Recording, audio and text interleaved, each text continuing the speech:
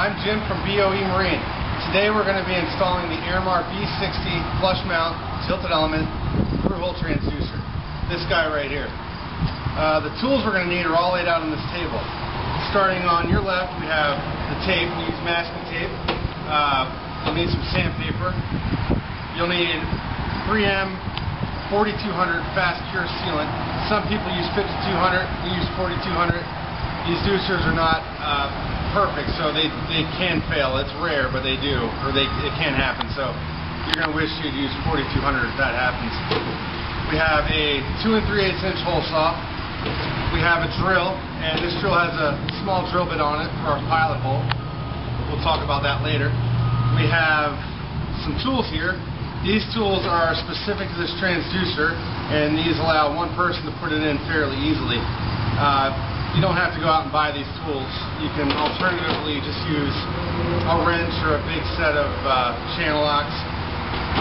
And then over here we have the transducer. Uh, the transducer comes with these components right here. First is the big nut that's going to go on the inside of the, the bilge to hold the transducer in place. And then you get a big rubber gasket. Again, some people don't use this gasket, but we do. We feel it. It, uh, it helps uh, smooth out the imperfections on the inside of the hull to uh, get a good, a good secure fit. And here is the transducer. These transducers are labeled right here on the top with what degree they are and the direction. There's an arrow here that points towards the keel. A lot of people ask, what does that mean, towards the keel? Does that mean it points in the direction of the keel or does it point towards the keel?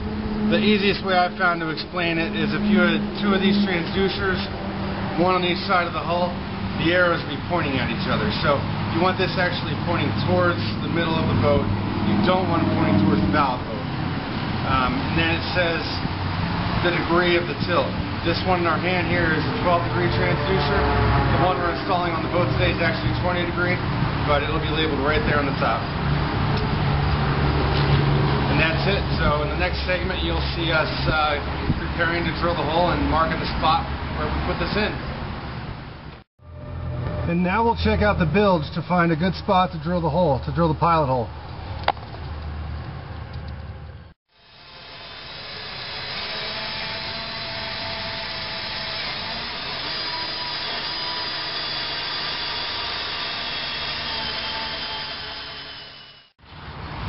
So here we are at the bottom of the boat and lo and behold our pilot hole is in the perfect spot.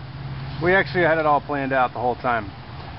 So now that we have our pilot hole, next thing is to use that hole as a guide to start our 2 and 3 8 inch hole to mount the transducer.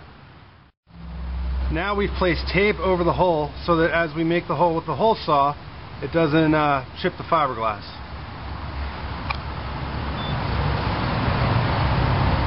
Now we'll start making the 2 and 3 8 inch hole for the Airmar B60 transducer. Need to pay careful attention to keep the drill perfectly perpendicular to the surface you're drilling into. If it gets crooked at all, it makes the hole a little bit oblong and then the transducer doesn't always fit in exactly.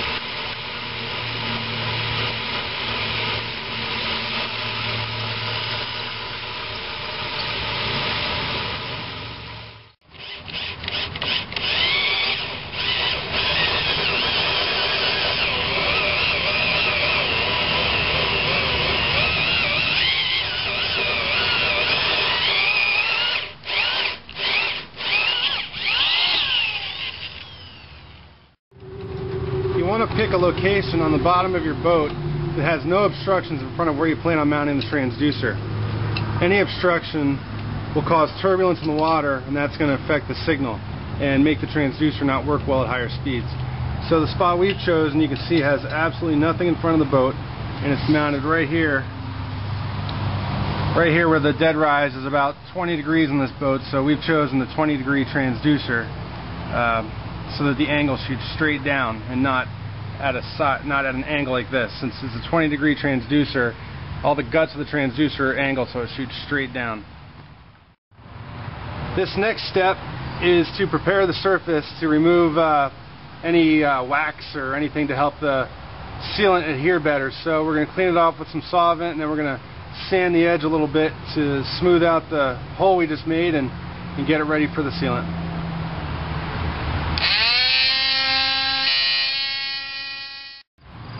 Okay, now we're done sanding and this hole's ready to go. So the next step is to trial fit the transducer and then we're going to mask it off with tape and get ready to mount it. Airmar says not to use any acetone or solvents in the bottom of these transducers. So what that means is if you get sealant on here like 4200, how are you going to get it off? So what we do when we mount these is we'll take some of this blue masking tape and we'll put pieces right across here and across the fiberglass around the boat, and then we'll cut the transducer, or the, the tape so it actually falls out. In the next segment, we'll show you how we do that.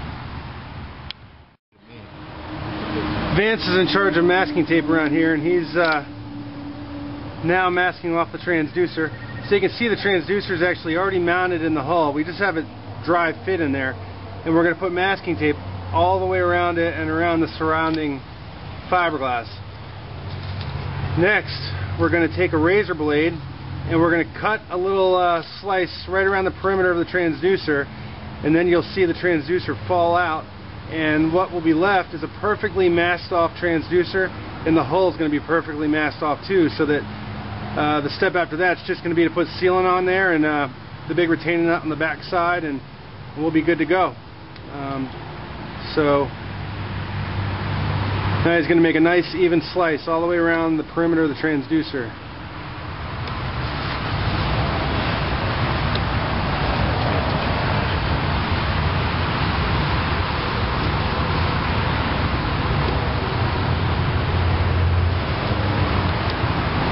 Vance gets a little bit nervous on camera, so bear with him.